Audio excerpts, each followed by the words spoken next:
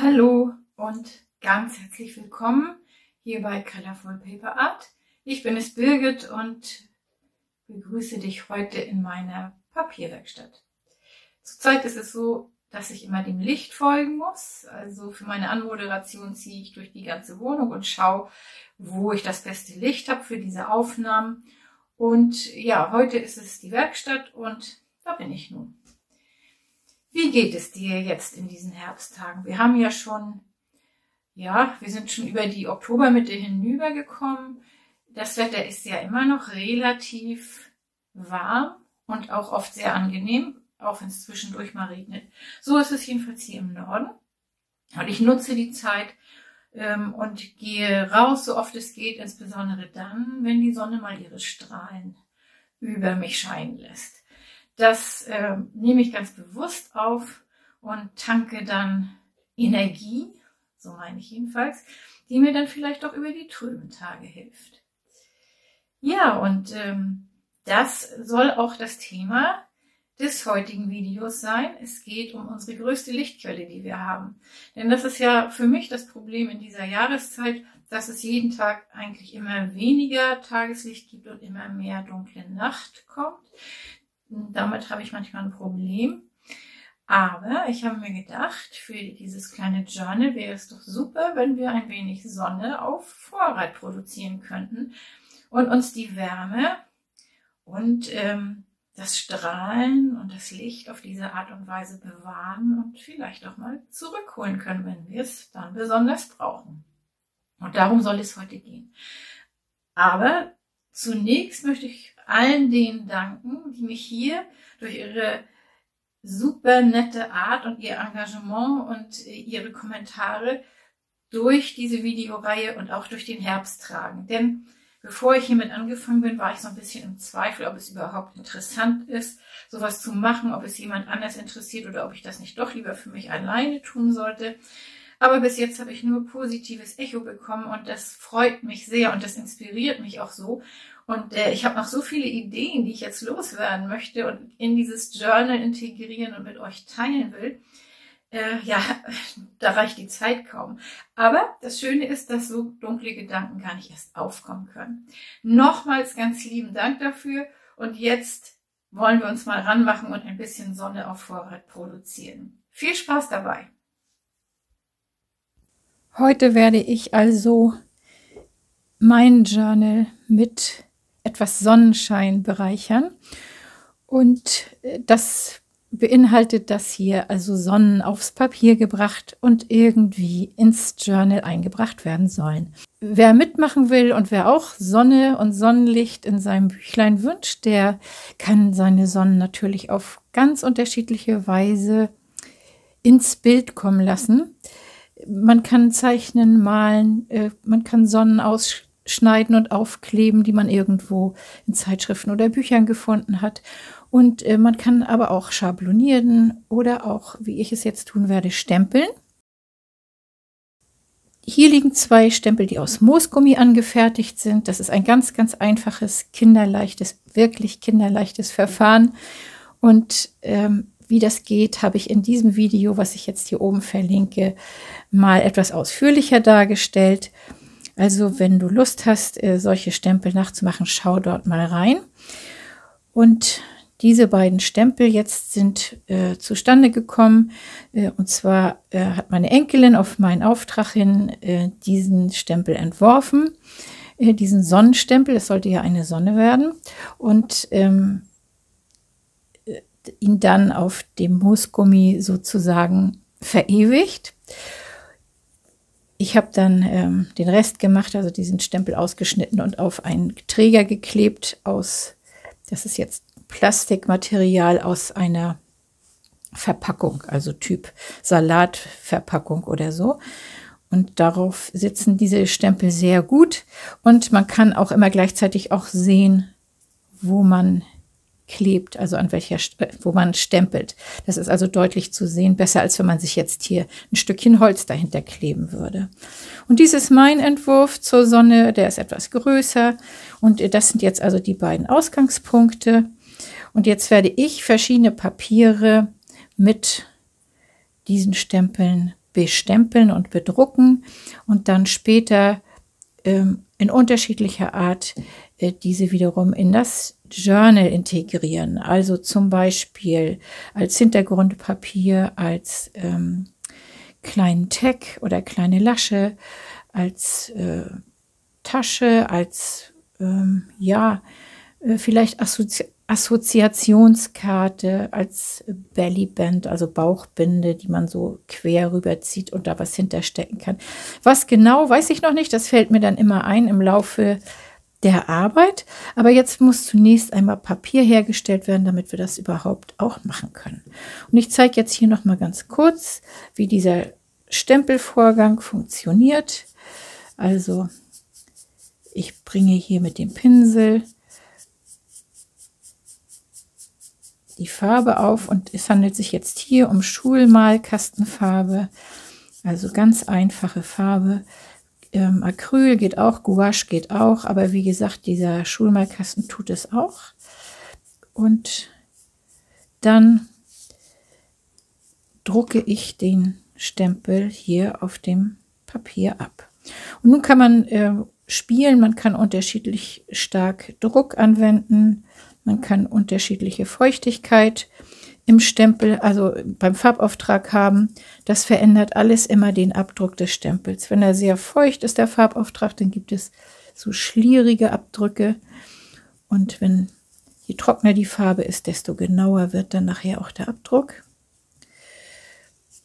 Aber das sagt dir die Erfahrung, wenn du da einfach erstmal mit anfängst und dich ausprobierst. Und auch wenn du vielleicht mit den ersten Abdrücken nicht zufrieden bist, habe ich die Erfahrung gemacht, dass die sich nachher doch super gut weiterverarbeiten lassen, weil also wirklich jeder Abdruck so seinen eigenen Reiz auch hat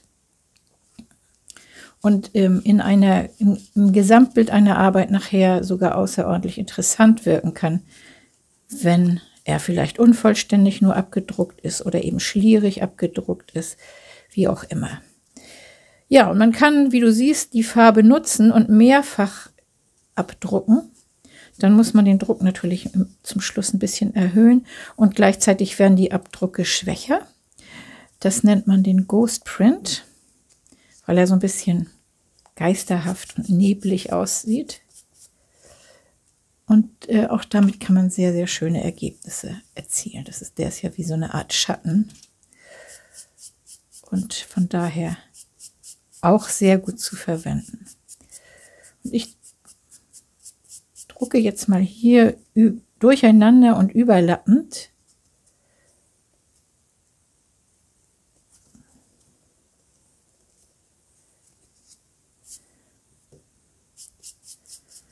Nehme jetzt hier ein bisschen Rot mit rein. Ja, und es hängt nicht nur von der vom Farbauftrag ab, wie dein Stempelabdruck wird, sondern auch von dem Papier, was du wählst. Dieses hier ist jetzt so ein Papier aus einem Zeichenblock, also etwas stärker als Kopierpapier. Und das saugt einigermaßen. Also dann sehen die Abdrücke so aus, wenn du ein ganz glattes Papier nimmst. Das zeige ich nachher mal, dann werden sie wieder anders aussehen. Und so kann man auch damit variieren.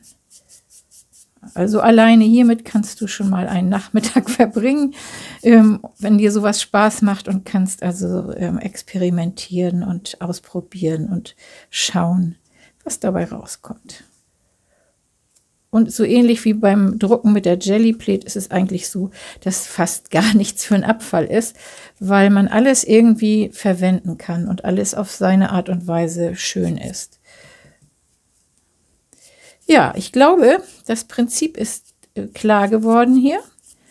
Und dann zeige ich mal kurz, was ich noch so an Abdrücken hier habe oder an Drucken.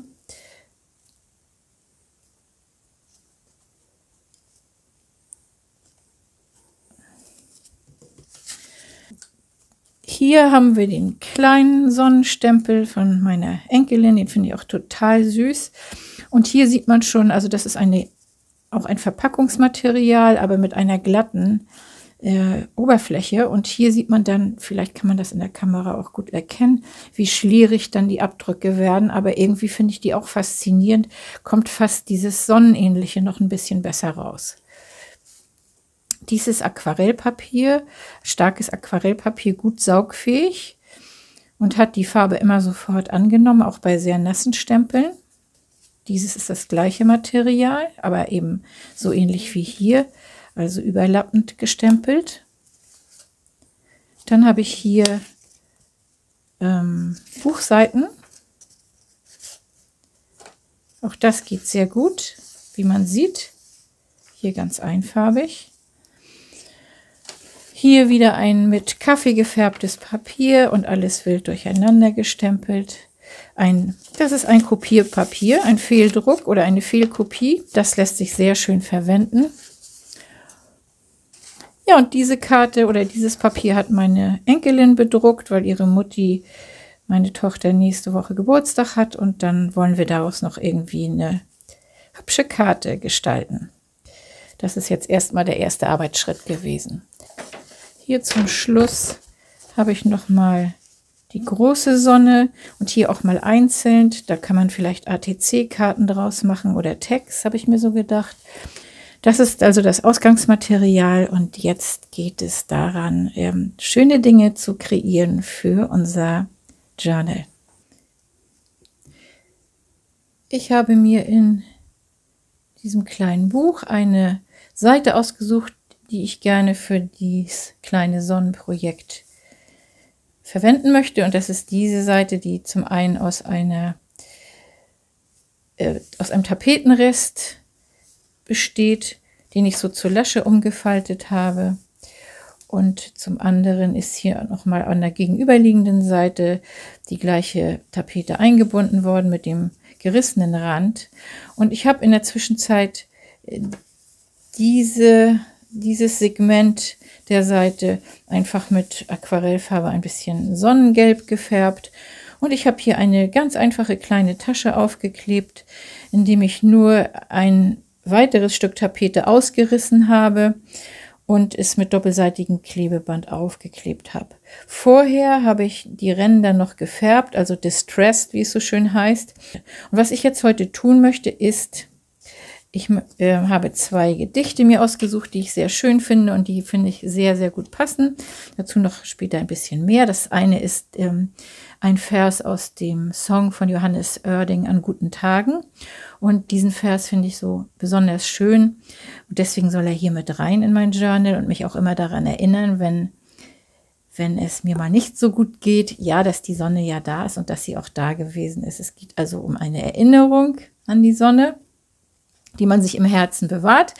Und ähm, genau das Gleiche sagt auch Goethe nur mit etwas anderen Worten.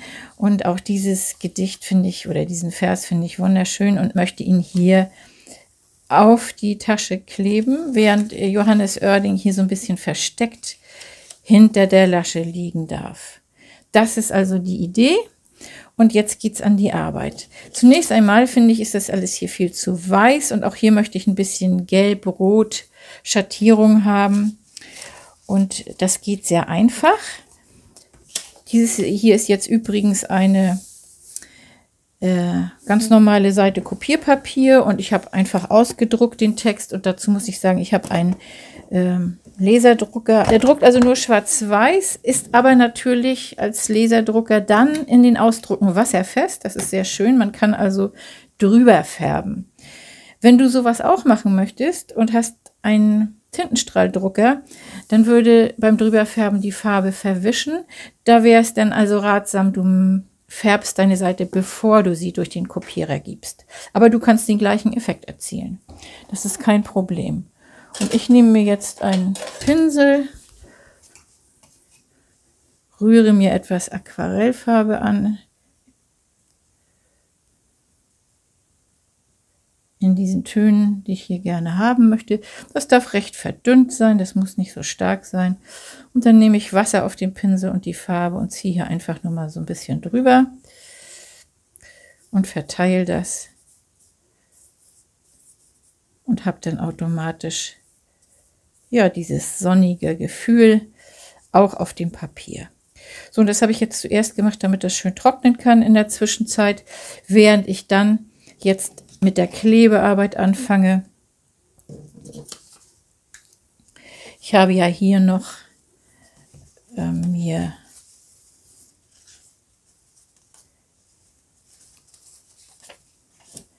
ein weiteres Papier zur Seite gelegt und das war dieses wild gedruckte Sonnenpapier auf dem ausrangierten, auf der ausrangierten Kopie, was ich ja vorhin schon gezeigt habe. Und das möchte ich so hier aufkleben. So, äh, nein, so, so nicht. Ich möchte es so hier aufkleben dass es dieses weiße, diese weiße Fläche verdeckt wird und gleichzeitig hier einen schönen Rand gibt. Vielleicht könnte man den hier auch noch in Bögen schneiden, das werde ich jetzt aber nicht tun, denn ich möchte auch nachher diese kleinen Sonnen, das sind ja die Sonnen aus diesem Druck, die habe ich ja auch irgendwo mal einzeln aufgedruckt und ausgeschnitten und habe diese kleinen Gesichter, Sonnengesichter da drauf gemalt, die so ein bisschen fröhliche Sonnenstimmung hier verbreiten sollen. Und ja, drei oder vier, glaube ich, passen hier rauf. Die werde ich hier so raufkleben. Und äh, hinter der Lasche soll dann der Vers von Erding seinen Platz finden. Und den werde ich hier mit den Reststreifen einfach nur am oberen Bereich ankleben. Der darf so ein bisschen lose sein. Das macht sich bei diesem Vellumpapier, das habe ich jetzt auf Vellum ausgedruckt. Vellum ist ja so ein transparentes, etwas festeres Material. Ich weiß gar nicht, aus was das gemacht ist. Damit kann man aber ganz hübsche Effekte erzielen. Und ähm, dies habe ich jetzt mal so versucht und das soll dann hier so integriert werden. Darum geht es jetzt. Also ran an den Klebestift und dann geht es auch schon los. Und ich fange jetzt mit der größten Klebefläche hier an, also mit dieser kleinen Tapete, will ich es mal nennen, Tapete für die Lasche. Ähm, und ja, ich nehme, wie gesagt, hier, hier für den Klebestift. Der Klebestift funktioniert ganz gut. Das Papier wird auch nicht allzu feucht dadurch. Es lässt sich ganz gut bearbeiten und auch für den Moment noch verschieben. Solange es noch nicht angezogen hat, das ist ganz praktisch. So. Und ja, jetzt geht es darum, das richtig aufzukleben und möglichst gerade hier reinzubekommen.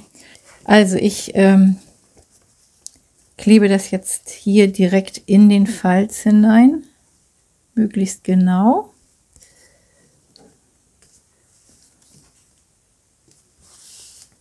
So. Das kann man von dieser Seite andrücken und lege dann auch hier gleich diese Einfassung drumherum. So dass hier eine, dadurch wird die Lasche etwas stabiler. Dieses, äh, die Tapete ist ja zwar ein stabiles Papier, fühlt sich aber so etwas lapperig an, sage ich mal, so ein bisschen weich und biegsam. Und schön ist das schon, wenn die Lasche so eine gewisse Stärke hat. Und das haben wir hiermit erreicht. Und gleichzeitig haben wir natürlich einen schönen, also eine schöne farbliche Gestaltung, ein schönes Element, ein sonniges Element. Dann kann der Rest hier oben und unten abgeschnitten werden.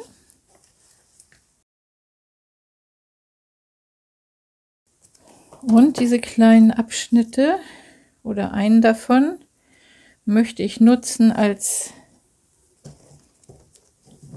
äh, sozusagen Fixierungspunkt oder Befestigungsstelle für das Gedicht von Oerding, was ich ja in die Lasche rein oder hinter die Lasche kleben will.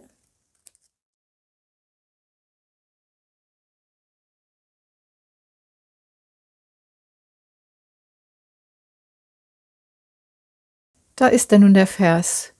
Und der heißt, weil die Sonne ihre Pausen braucht und sich dann irgendwo versteckt, mache ich ein Foto, denn das Licht ist gerade so schön, damit ich auch an dunklen Tagen die hellen nicht vergesse. Und ja, das jagt mir immer wieder so eine Gänsehaut über die Arme, weil äh, ja, wir alle erleben dunkle Tage, nicht nur jetzt im Herbst, sondern auch im Leben. Und das ist so ein schöner Vergleich. Das stimmt also für diese Jahreszeit, haben, wenn wir im Sommer genug getankt haben an Wärme und auch jetzt noch in die Sonne gehen und uns bestrahlen lassen und das auch bewusst erleben, dann durchstehen wir vielleicht auch die Phasen, wenn der Regen, der Nebel und das Dunkel gar nicht mehr aufhören will, weil wir ja diese Erinnerung in uns tragen und das Gefühl. Und äh, im Leben ist es auch so, wenn man sch durch schwere Zeiten hindurchgehen muss, dann äh, ist es gut, positive und wärmende Erinnerungen im Herzen zu haben, die einen über so, solche schweren Zeiten dann auch ähm, tragen und äh, einem helfen, nicht zu verzweifeln. Und ich wünsche dir und euch allen, die ihr hier dabei seid, dass ihr äh, solche Sonnen in eurem Herzen habt. Und das ist das Symbol dafür. Ähm, dieser Vers und auch diese Seite. Und für mich so, äh, ja, eben halt so ein kleiner Anker, an dem ich mich dann auch mal festhalten kann, wenn es mal gerade nicht so läuft. Ähm, Im nächsten Schritt würde ich hier diese kleinen lustigen Sonnen äh, einkleben. Das ist vielleicht ein bisschen kindisch, aber mir macht es Spaß, also darf es darauf. Und auch die werden mit dem Klebestift angeklebt. Ich glaube, drei genügen. Ich weiß nicht, ob die noch, diese ist, gefällt mir besser. Also nehmen wir die drei und die werden jetzt also ziemlich, ziemlich wahllos da verteilt.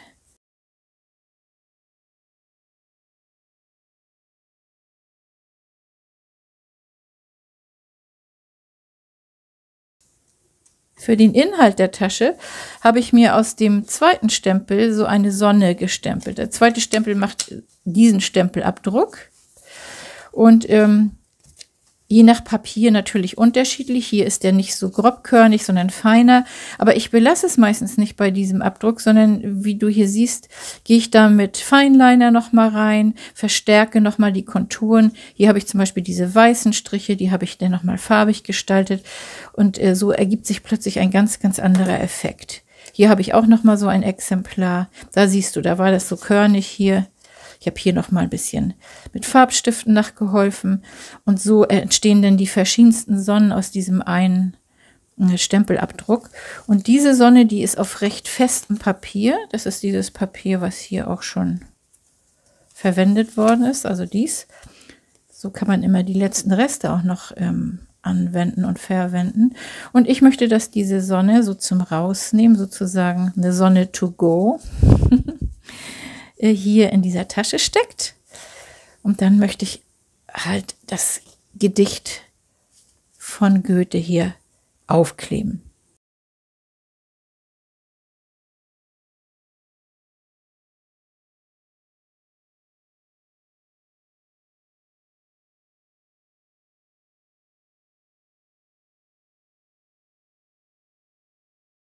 Goethe hat jetzt geschrieben, auch das ist Kunst, ist Gottes Gabe, aus ein paar sonnenhellen Tagen sich so viel Licht ins Herz zu tragen, dass, wenn der Sommer längst verweht, das Leuchten immer noch besteht. Und das ist ja im Prinzip genau das Gleiche, was auch Oerding sagt. Ähm, es geht um leuchtende Erinnerungen, die man sich bewahrt äh, für schwere Tage. Und ich finde es so faszinierend, dass also zwei Männer, die ja ähm, mehr als 200 Jahre auseinander sind sozusagen, sich so über diese Zeit eigentlich die Hände reichen und das gleiche empfinden und das gleiche ausdrücken. Und damit ist die Sonnenseite in diesem Herbstjournal erstmal fertig angelegt.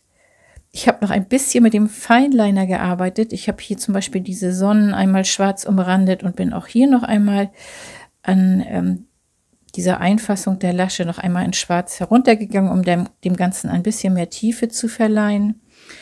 Für mich strahlt diese Seite Wärme aus und Fröhlichkeit.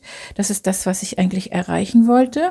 Ich habe meine beiden Gedichte integriert, das eine versteckt, das andere ganz offen und bin erstmal zufrieden und lasse sie erstmal so. Es kann aber sein, dass ich in den nächsten Tagen, wenn ich nochmal drüber gucke, dass mir dann das eine oder andere noch auffällt, was ich verändern möchte.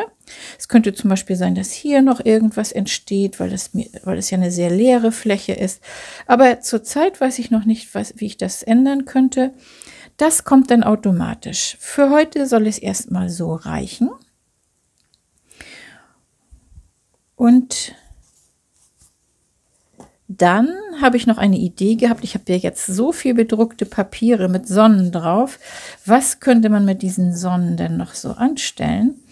Und ähm, ja, da habe ich mir so gedacht, man könnte, ich will sie mal Motivationskärtchen oder Aufmunterungskarten nennen, die man sich selbst und anderen auch ähm, verschenken kann. Mal einfach so jemanden in die Jackentasche stecken kann.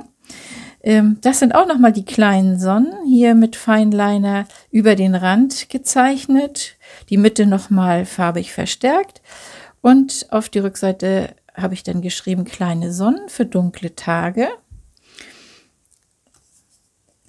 So als das ist ein ATC-Kartenformat, so ein Sammelkartenformat. Insofern eignet sich das auch für diejenigen, die äh, sich mit den ATC-Karten auskennen und auch gerne tauschen, würde sich sowas auch prima als Tauschkarte eignen. Dann könnte man vielleicht die Serie so nennen oder die Karte so nennen, kleine Sonnen für dunkle Tage und könnte hier äh, die übrigen Angaben auf die ATC-Karte auch schreiben.